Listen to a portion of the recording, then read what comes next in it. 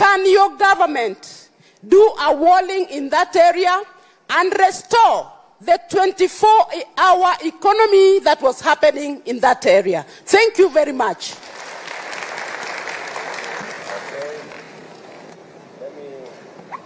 Take a question from here. Thank you very much, uh, Mr. President. My name is Sospita Ubungowich. I'm the famous president of the Sufuria Revolution Movement.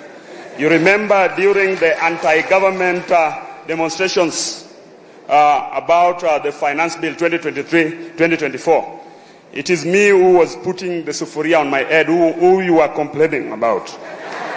Today, I'm very glad, Mr. President, that we are welcoming you here in Kisumu and feel most welcome. We love you. We are, you are our brother, and we will always support you. Iler Kaka Pamba. Mr. President, my question is political. We suffered the last two years because your deputy was telling us the government was for shareholders. With broad-based government, do you still appease the shareholders?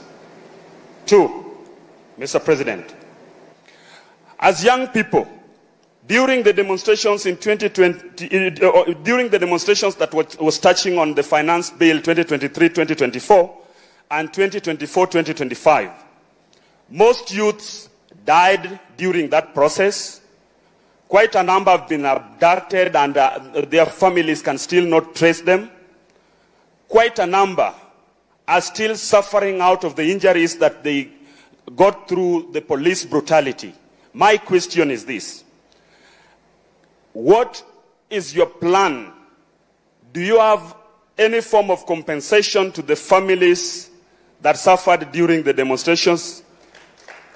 Because as, a, as the president of the Kenya Bunge la Wananchi caucus, the leadership that are, the, the, the face that represent the young people, we have always been talking very categorically and we are saying that we want your government to see to it that the young people that suffered during the demonstrations are well taken care of and that is our request as young people. And lastly, as I finish, Your Excellency, we want to thank you very much for embracing, that, uh, for embracing broad, broad-based government and for agreeing to work together with our party leader, His Excellency Raila Amolo Odinga, and supporting his bid for AUC. That we are saying that we are very happy about that. On the side of the broad-based, we are happy that you considered our people, though the Luos did not vote for you, but you considered our people and gave them very important positions in your government. Here in Kisumu, kindly consider us because we don't have anything good as people of Kisumu. And on the Bunge la Wananchi, kindly consider the Bunge la Wananchi because we also suffer and we also, we also exist in part of the struggle.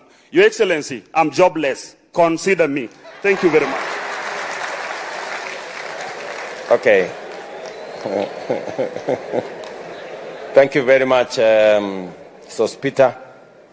Let me start with uh, Evans. Evans has asked me about housing.